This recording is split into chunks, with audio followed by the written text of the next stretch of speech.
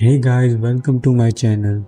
In this video, I am going to show you how to change Microsoft Outlook 365 password. So go to start menu, search for Outlook, open it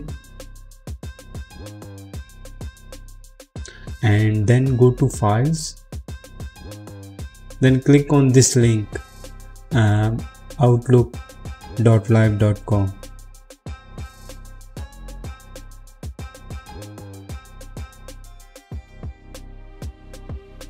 now go to this icon or your profile. Then go to my Microsoft account.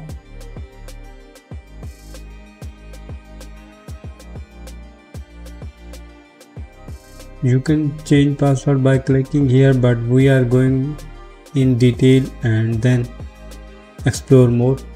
So go to security and it will ask for our current password.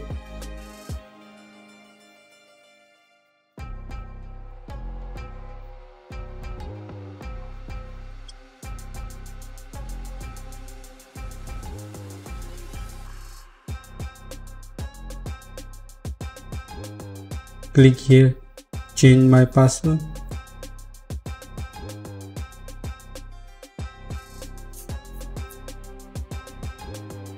and here you can type your current password new password and retype your new password check this box if you want to change your password every 72 days and then hit click save button and your password will be changed so if you find this video helpful, like the video and subscribe my channel. I will see you in next video.